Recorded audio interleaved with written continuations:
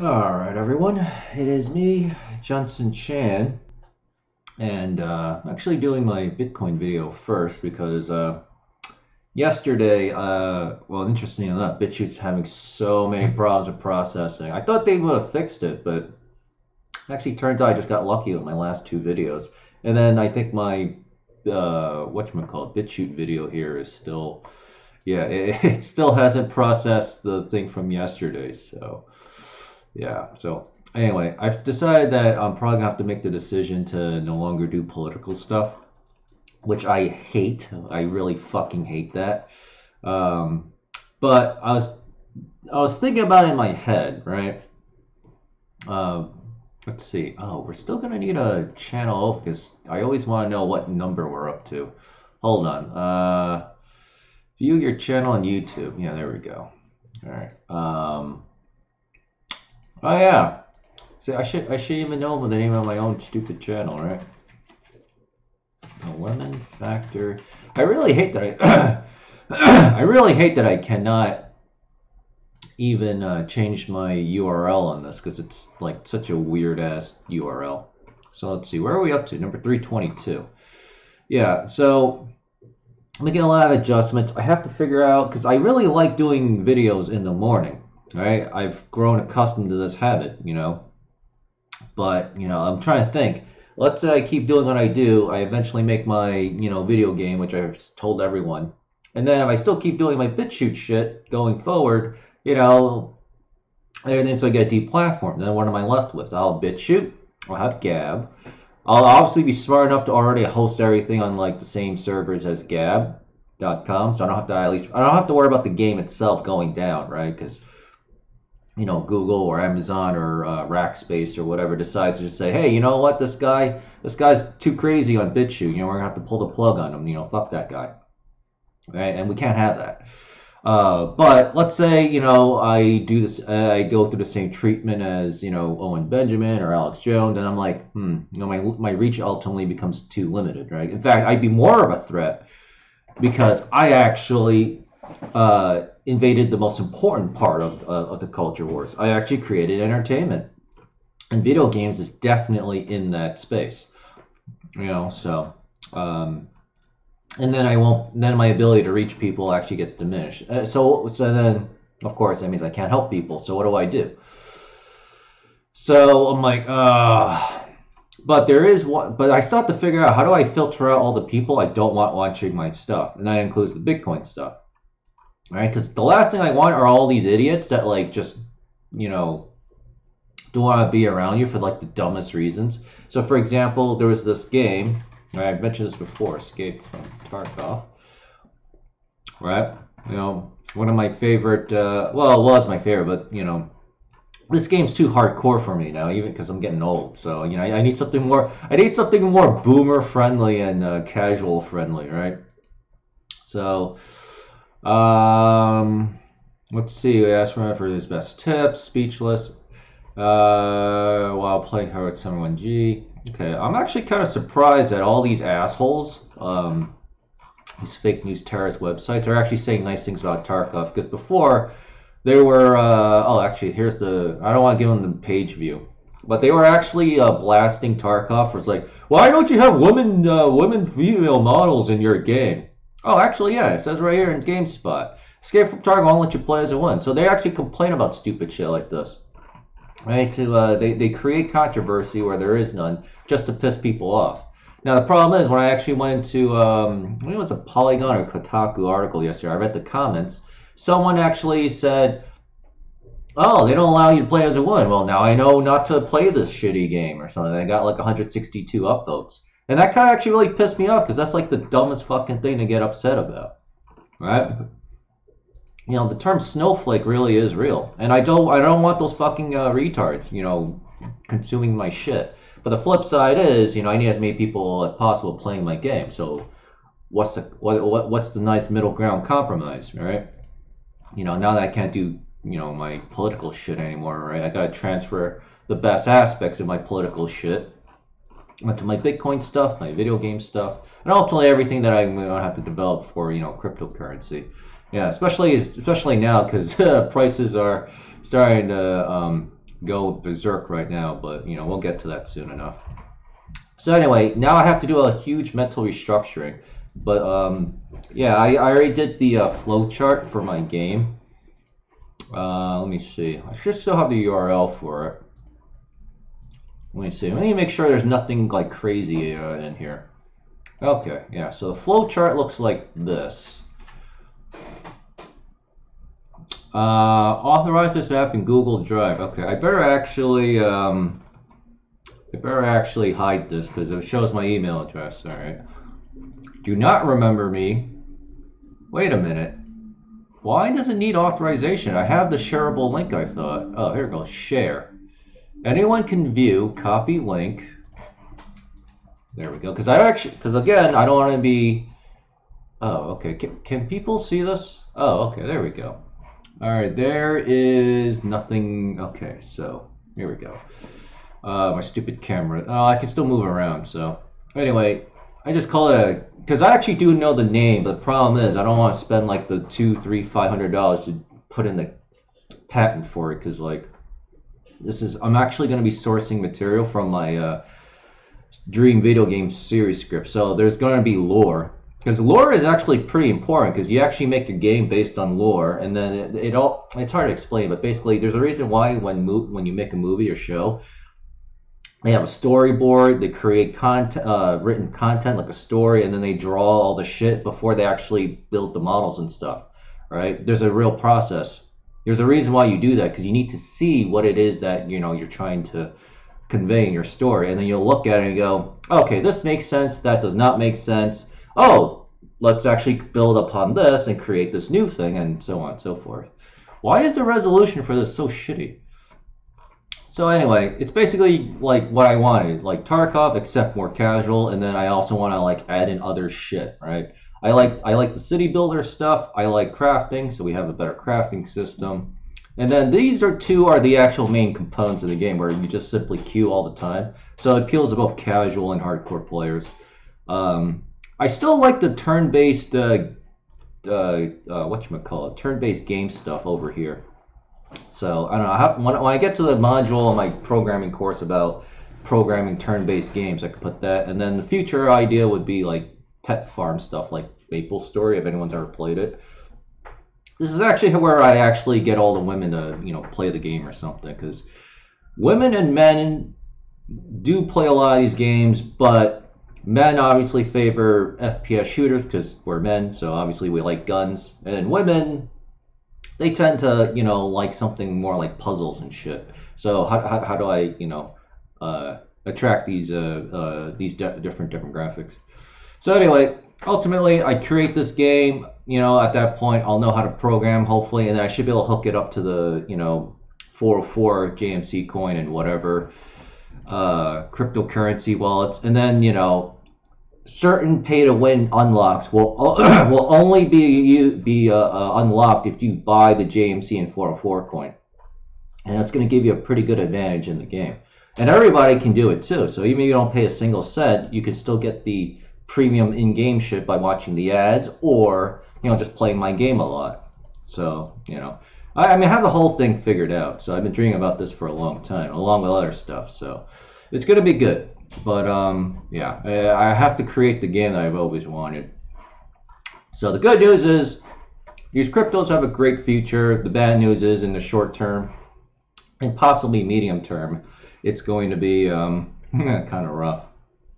But yeah, that's why I have to make the adjustments. That's why I've got to start cleaning my shit up. Eventually, I'll have to hide my BitChute channel and all that stuff, and then uh, I don't know. I'm, i guess I'll just retweet. Um, you know, Nick Fuentes on my Twitter line or something. So I'll still get flack in a couple years or whatever once I get big enough, and then I have the stupid uh, stay safe on YouTube. Then I have the stupid fucks from Polygon and Kotaku like attacking me.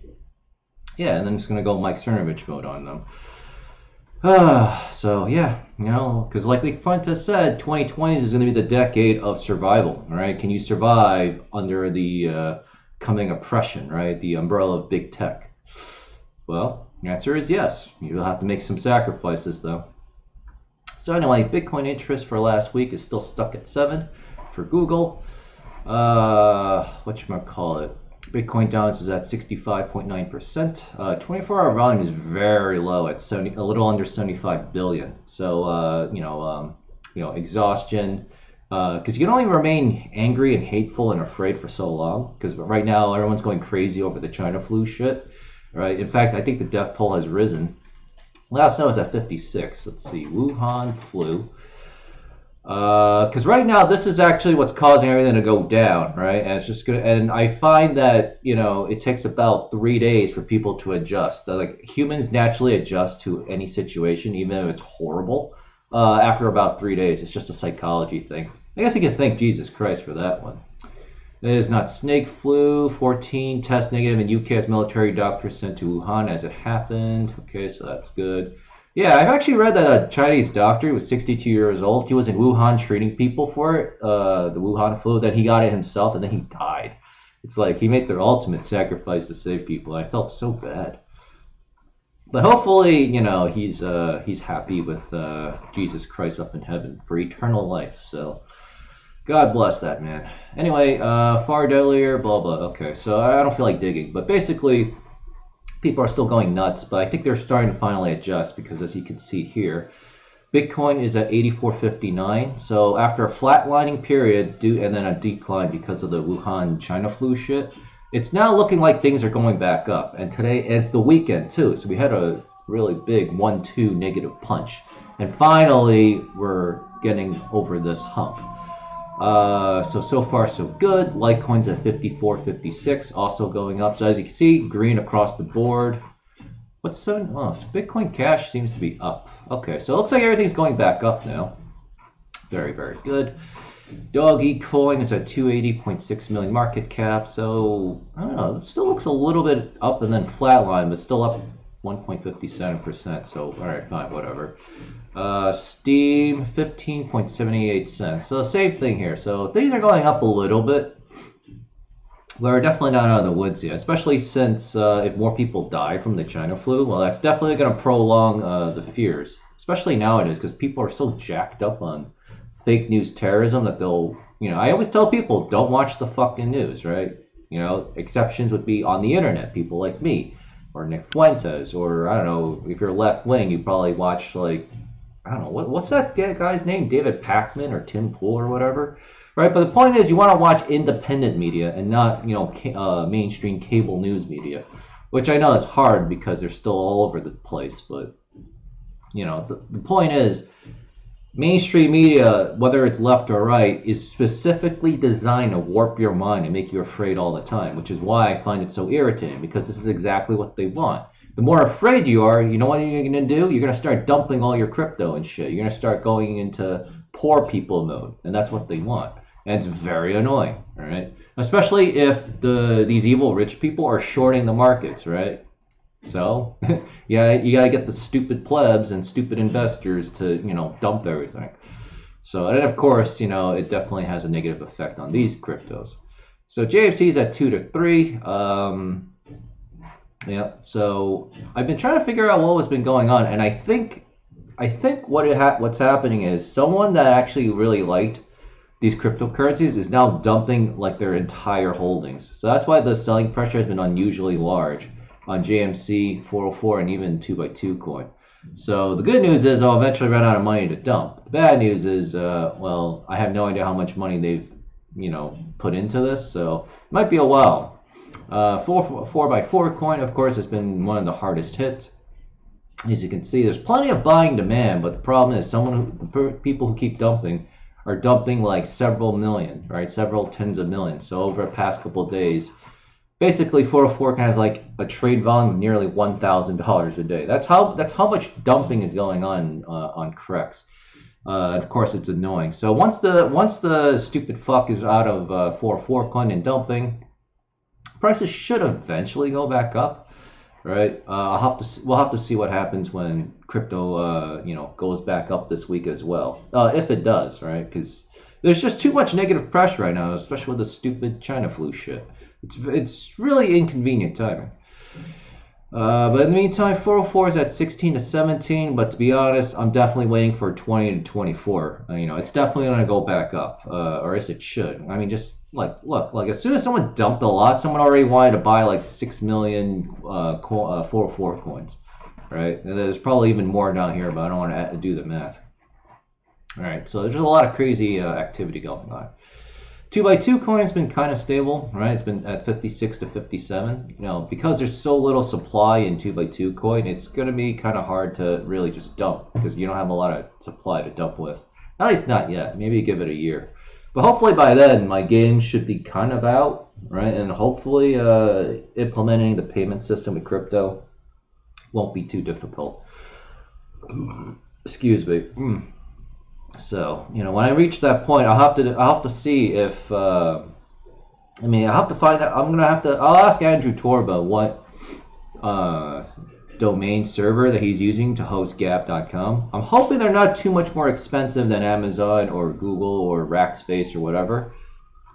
All right, so because you know, because uh, the last thing I want is to host on like you know some big corporation right that from big tech and then you know the hit pieces come in after a few years and then they decide to you know uh, t- take out the server then the game instantly dies right there because like you know they you know sure they'll piss off millions of people or whatever but they obviously don't care right? So you know i mean i need to you know take that into consideration. But i mean money is still a problem too right? So uh 56 to 57 so very good but yeah i'm um, I was formulating what I'm going to do between now and going forward, right? Especially the free marketing aspects.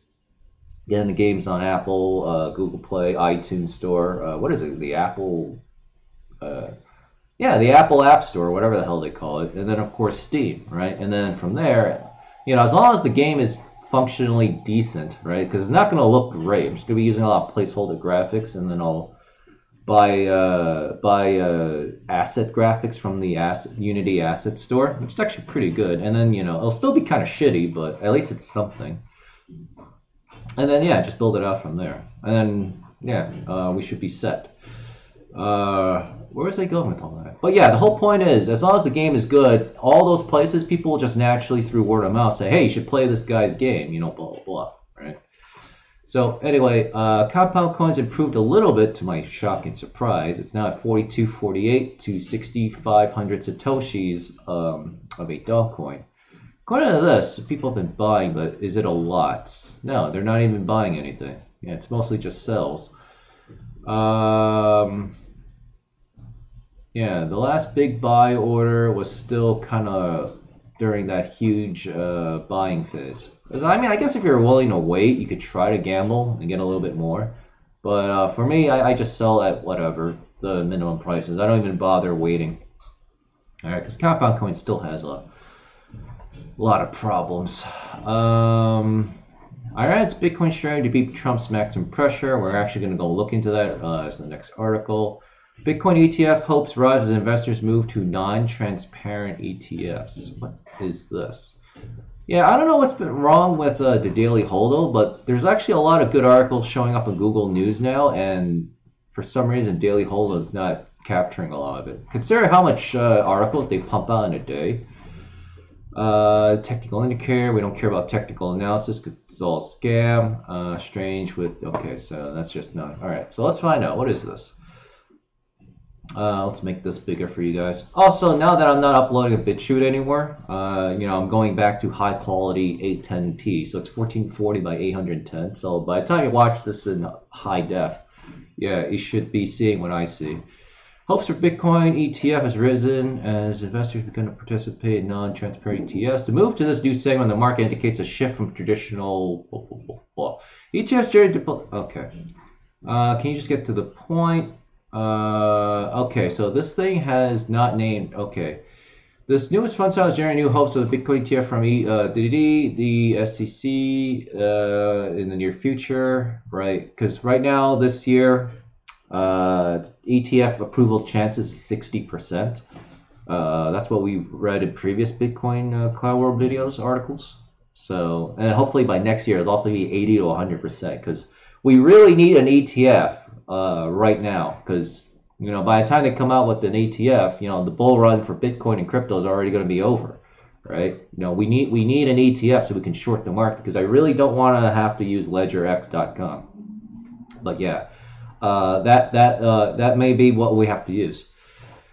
Uh, well, okay, so this article was just completely useless. It didn't even say anything like whatever. So, yeah, oh well. Anyway, Bitcoin and crypto mining could add eight and a half billion Iran's economy. Officials grant a thousand licenses.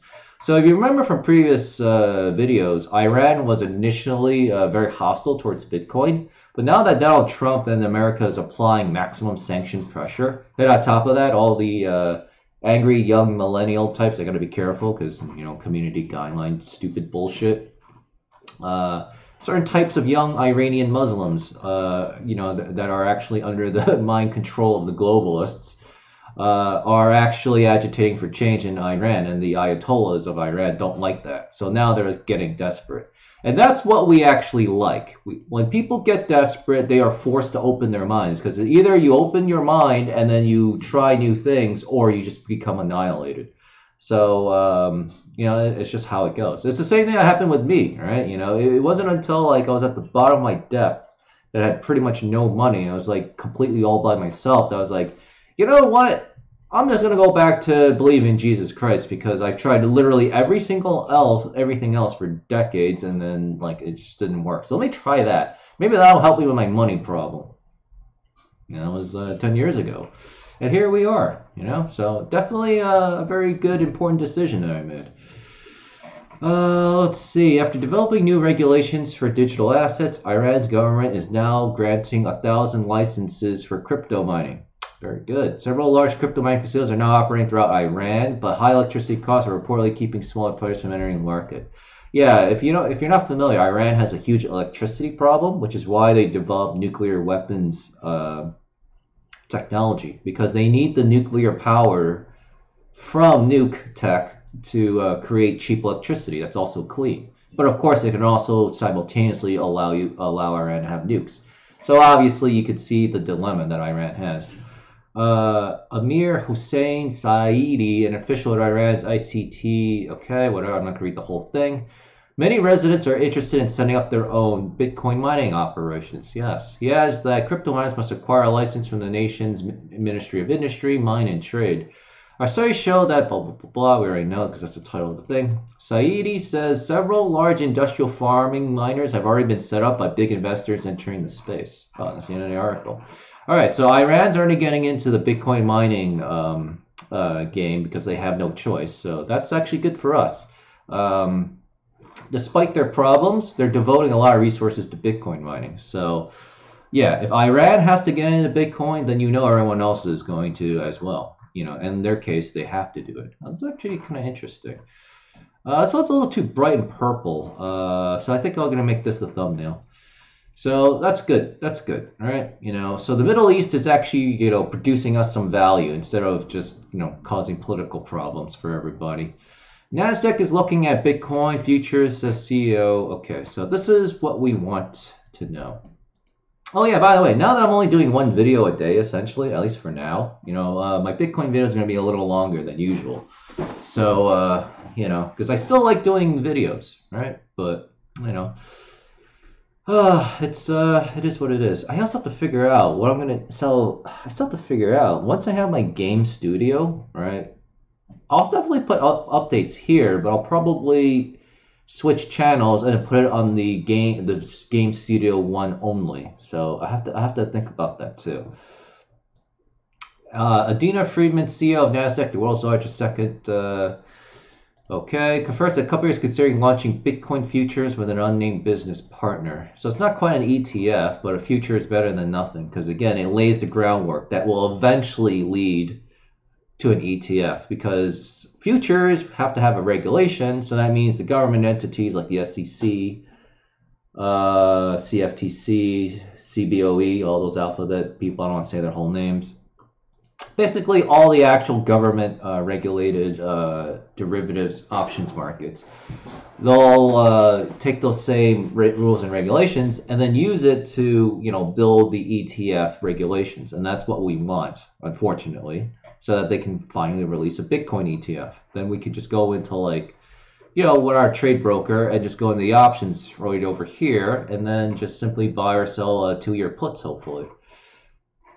Which is why we're going to be taking a look at CAN once uh, the three months are up for them, and then we can see what options are available. I don't expect them to actually have two-year options available right off the bat, but we'll see. Uh, we've been working with the industry, a great partner. Okay, I don't want to read this whole thing. Okay, so blah blah blah. There, uh, Friedman believes that the broader outlook will include crypto. Blah blah blah blah. The first euro-denominated Bitcoin exchange trade note, Bitcoin Tracker Euro, was launched on. Okay. So for a new product, Friedman's updates, delays, and a series of confirmations. Excuse me. Hmm. Gotta make sure I burp even a little bit just so I don't get the hiccups later. Bloomberg reported in November 2018 that NASDAQ was actually looking into Bitcoin futures. So they were actually looking at this for two, almost one year. November 2019. Oh, okay. So a year and a half, a little under a year and a half. Okay, so futures are still not the best, but you know, Nasdaq obviously is a very huge market. Right, it's like what a couple hundred billion a day or a trillion a day or whatever the hell the daily trade volume is on for Nasdaq. So uh, yeah, so cryptocurrency is definitely going more mainstream. It's getting more free advertising. It's getting more uh, everything. So you know uh, the fundamentals are still getting even stronger for again a Bitcoin at one million dollars and that's what we want. Obviously, we want more than a million dollars per Bitcoin because then that means Litecoin's gonna be worth like eleven gorillion dollars. Well, actually, it's more like six, 60 grand to hundred grand. That's that's like I think my scale. Uh oh yeah, so we're not BitChute anymore. So anyway, if you like what you saw, read or heard, hit the like button, the follow button, or subscribe button from wherever you're watching from, or on my uh, YouTube. Ugh uh, at you know whatever the Lemon Factory BTC. So I don't know, just not going to even do uh, the thing because I just don't like Google or YouTube, but I have no choice uh, for the time being. Um, it also means I have to remove the BitChute link on my thing too. So let's see, customize channel. So I'll make sure I do that. So anyway, uh, obviously, uh, just doing one video today. Uh, I mean, I'll probably be the norm going forward, but I'll be doing these every day. So uh, whatever. Uh, hit the subscribe button. I'll see you in tomorrow's videos. And uh, yeah, uh, think about what I said. I covered a lot today. Um, and again, going forward, now that I'm only doing one video, I guess my videos will be a little longer. But um, yeah, uh, what you call it? Yeah, because now I don't have other videos. So you know, any other any other personal updates I do also have to go here too. So. Anyway, uh, let's hope tomorrow's a better day because uh, it'll be Monday, so everybody will definitely be at work throughout the whole world. So, um, so far things are looking good, but you know people are still pretty nervous about that China flu stuff. But at least this this indicator shows me uh, that people are finally getting over the China flu fears. Because once that stupid fear is gone and nothing else crazy happens, uh, hopefully the bull run should you know resume its course. But we'll see. All right. Thanks for watching. See you all in tomorrow's videos. And uh, yeah, enjoy the rest of your day or night. Thanks. Junson Chan, JMC coin, 404 coin, and yeah, that's a pretty good thumbnail.